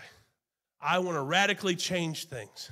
I want to see God blow out the roof and blow out the walls. I want to see God do something miraculous. I want to see people come to Jesus. I want to see transformation really happen. And for that to take place, we've got to pray.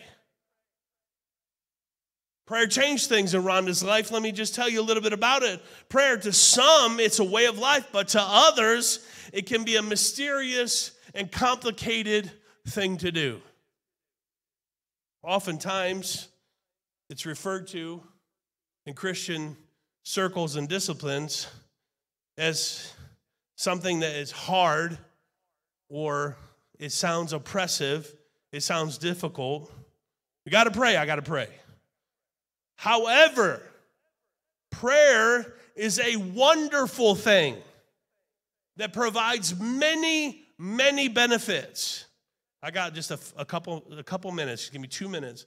In this, in this time that we live in right now, we need God to show up and show out, and He is already here and He is ready. He stands on, He stands on the, the authority, and He is standing at the at the altar, and He is ready, and He is ready to do something for you.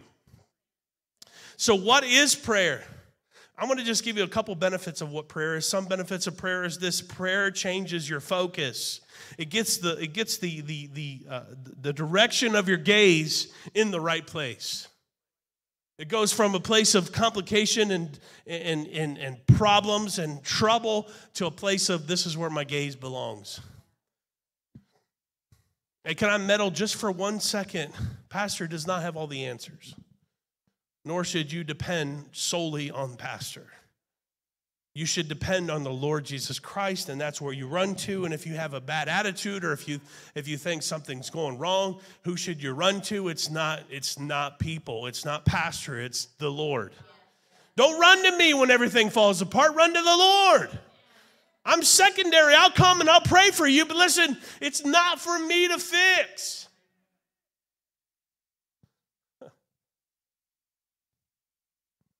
Number two. Well, I should say Colossians 3 2 says this think about things of heaven, not things of the earth. I've already said, where should your thoughts be? Where should the battle's where? It's in your mind. Why do you think he attacks your mind so much? He attacks your mind so much to the point that it's overwhelming. Are you okay with me? Hebrews 12, 12 2 says, looking unto Jesus, the author and the finisher of our faith. He's the author. We look to him.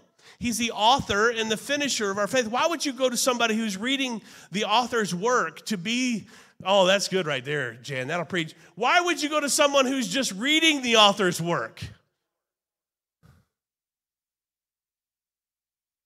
Well, Pastor, you're a pastor. That's what you do, right? You, you pray and things happen. So can you. You can have as much faith, much as much anointing. Yes, I'm called to a work, but I'm called to gather. I'm called to be a sheep herder. I'm called to follow the real shepherd. Amen. This is not a slam. Please, please don't take it that way. Number two, prayer brings us closer to God. I got to know him better. James 4 8 says, Draw near to God, and he will draw near, he will draw near to you. Getting to know him, getting closer to him. Closer you are to someone who can solve the issue, the, the more likely that the issue will be solved.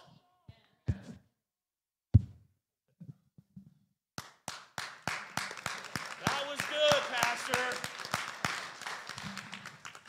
That was so good. Woo, that was great.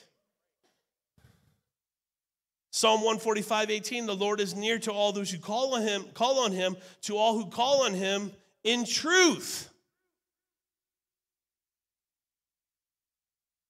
Number three, just real quick, I'm going to run through these real quick. Prayer ushers us into God's presence.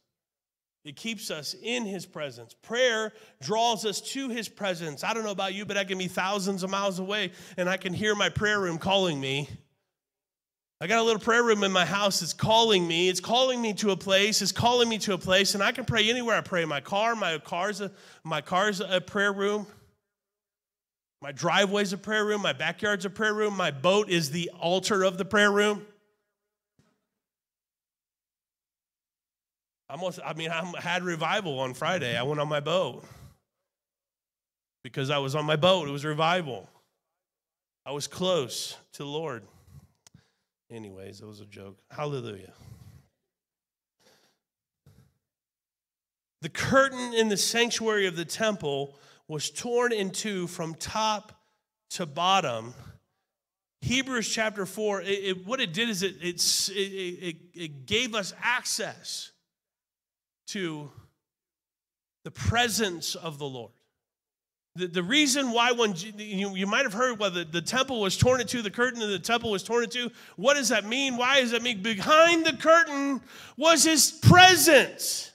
It's been torn so that you have access access to the holy spirit access to god access to the, the power of the lord. Hebrews 4.16 let us then approach God's throne of grace with confidence so that we may receive mercy and find grace to help us in our time of need. Can I labor in this just for a second? Let's approach God in his throne of grace with confidence. Not, not, not, not a, I, I don't know that you can handle this, God, but, but, maybe, but maybe you can. No, he can handle it. He can perform the miracle. Some of you have been saying, God, I'm never going to get out. I'm never going to get out of this. I'm never, I'm not good enough. Nothing's ever going to change. Prayer is the way to help others. Uh, James uh, 5:16 says, "Pray for one another that you may be healed." There are two ways that this is true. One is praying with someone, and the other is praying for someone. Prayer is a way to help others. Prayer helps calm us. You, you a lot of times we, we find ourselves in, in a deep, deep need of anxiety. You think that anxiety was less than when, when it was biblical times? That anxiety is still that spirit of anxiety, that spirit of fear, that spirit of that depression, it was still there. Just read about David when he lost his little baby. Read about those, those crying out to God. Listen, those things are real. Colossians 1 9 through 12 says, And so from the day we heard, we have not ceased to pray for you, asking that you may be filled with knowledge in his will, in his spiritual wisdom and understanding. Meaning, you don't know all the answers. Only He does. Prayer comes to help us and calm us. Prayer brings about change. And the list goes on and on and on. Jeremy, just for a few minutes, because we got to take offering and stuff. I did a horrible job of that last week.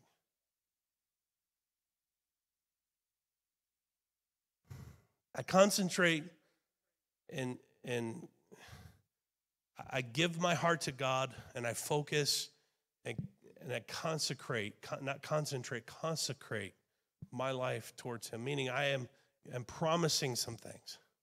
I'm willing to let go of some other stuff so that I can promise Him some things. You ever promise your kids stuff? Yeah, I gotta stop doing that. I think it spoils them. I don't know. Spare the rod, spoil the child. Maybe I should break the rod out. I don't know. Nah, just kidding. But but but the, the thing is if I if I if I promise the Lord some things, I got to stand on those promises. If you found yourself wondering, God, how can I get any relief or release from this? I'll continue this next week. It's really good. There's some good stuff. How can I how can I release some things in my life, let go of some change, and pick up, God, what you're calling me into. How can I do that? It, it, it takes amount of, of time in prayer.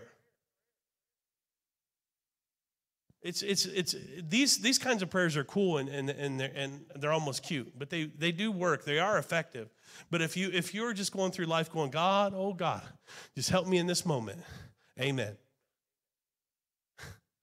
What? God's like, I don't know you. I'm, I'm not sure if I understand what you're requesting. Uh, you're not being too specific. You just want me to make everything all right for you?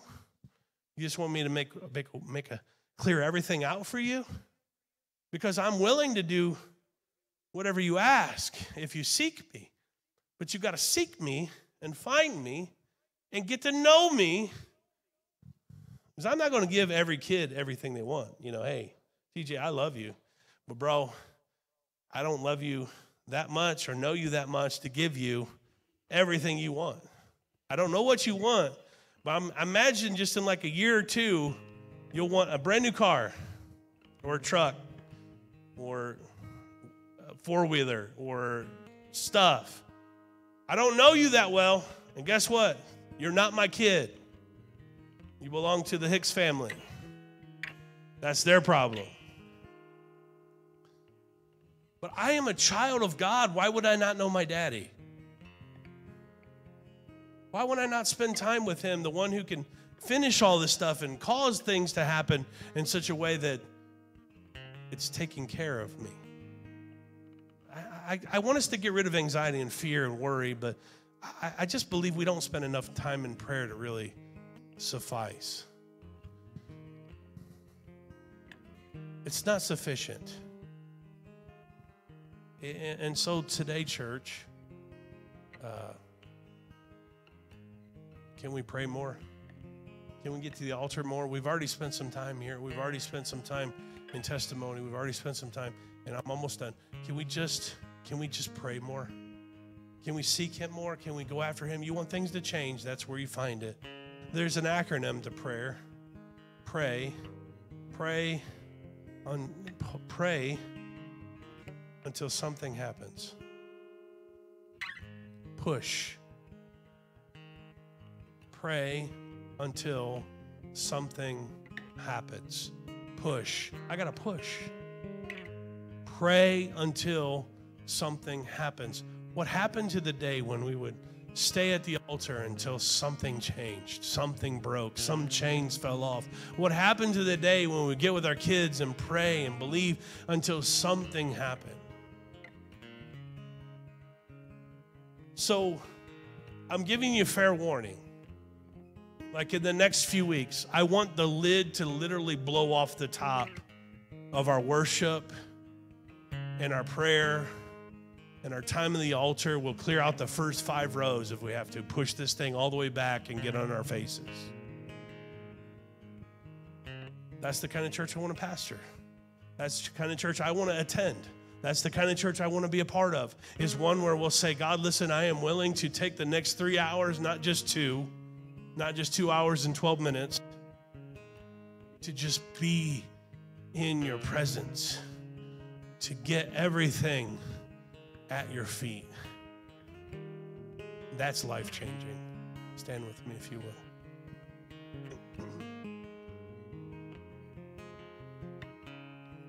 will.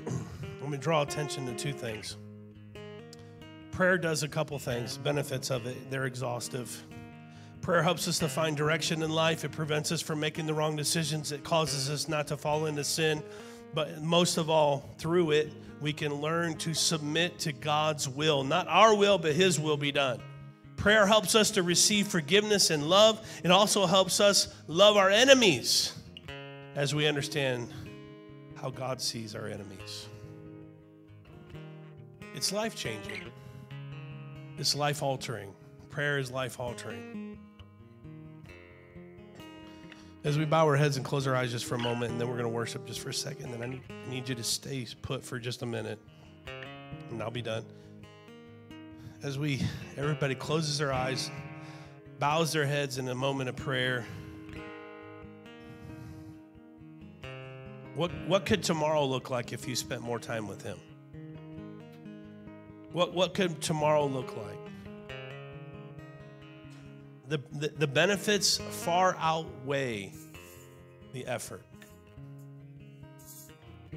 Prayer helps us to find direction. It helps us to stay sinless. It helps us to be helps us from falling in the wrong wrong path or going the wrong direction.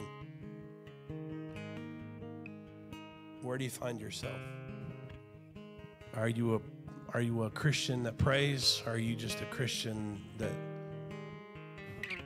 comes to church? I mean, you're here. I, I, I applaud you for that. I applaud you. I applaud you. And I'm, I'm, I'm, I'm preaching to myself. I'm preaching to, to those that have not, you know, toed the line. But this is not a, this is not a, a, a toe smashing sermon. This is a, this is a challenge for us to really get free from some things. God, where do you want us to be? Let's pray. Father, we just come to you right now. God, as you anoint each and every person under the sound of my voice, Lord God, that we will become a people of prayer. That we would become a people of prayer and we would not only just pray for ourselves, we would pray for others. We would pray for change. We would pray, God, that you would move in our midst. God, have your way in us. In Jesus' name. Amen. Let's worship the Lord for just a moment. Come on. And all my life you have been faithful. Come on, lift your hands. Let's worship Him, really.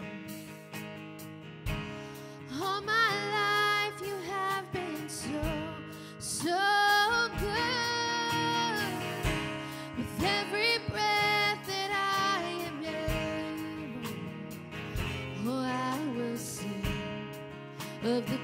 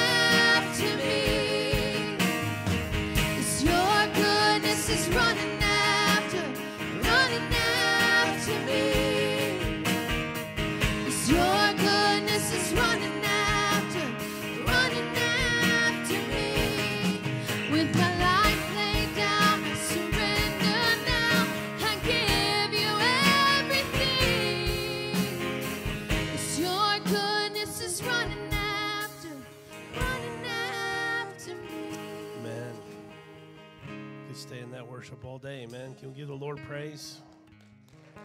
Amen. And you sit with me for just two more minutes. Two more minutes. Just have a seat. Our ushers are going to come, give us an opportunity to give an offering and tithes this morning. Uh, I was made aware, um, you know, we're in a uh, recession, gas prices are higher. God's economy is not man's economy. And, and, um, and I'm going to challenge you to continue to sow seeds into the ministry of the Lord, to sow seeds into his glorious work. Amen. Um, and maybe you don't know where this finances go. It's all transparent. We can let you know. But here's the deal I want you to give without really, like, I, I, I give my tithe and my offering not demanding that something or a certain thing happen. We're very accountable to what we do here at the in the work of the Lord here. Very accountable. Um, I don't take a full time paycheck, and there is no one that's full time here. We're all either volunteer or very, very part time. And so I want you to know that, that we are pushing forward in what God has called us to do in the work of the Lord here in this area, and, this, and that we want to do things in a bigger way. We want to see bigger, bigger things happen, more outreach, more uh, expansion, more ministries, more abilities, and, God will bless us uh, because of our faithfulness. Amen. So let's be faithful in our giving to, in the summer months, and, and we're almost done with summer. Uh, school's coming back. TJ's like, yes.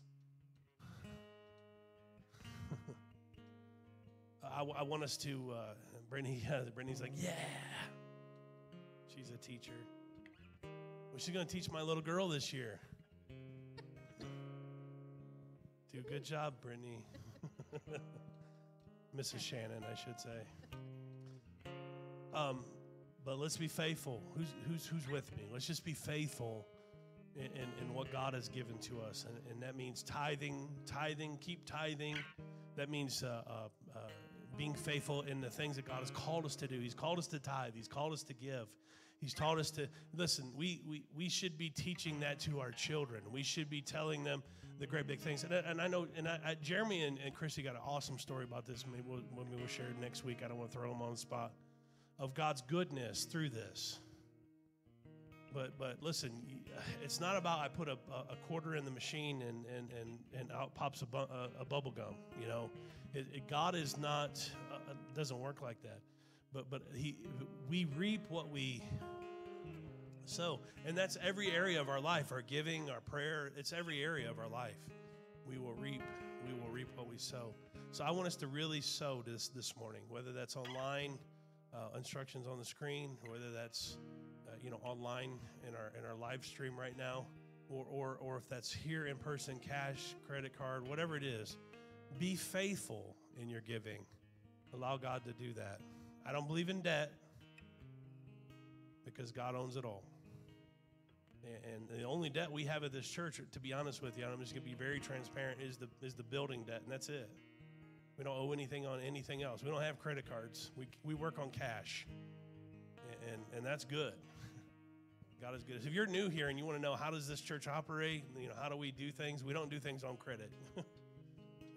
we do things on cash. We can't afford it. Guess what? this is something you should teach your kids, man. Not that you not that you don't do this already. I'm put you on the spot or anything, but we should teach our children not to go in debt. They don't have to owe anything, it's in the Word. And, uh, all right, cool. Did I hit on that? So as you're giving this morning, we're going to pray one more time as you're giving. I got uh, I got a couple announcements on me. Um, house group sign-ups are, are open, so you can use your camera on your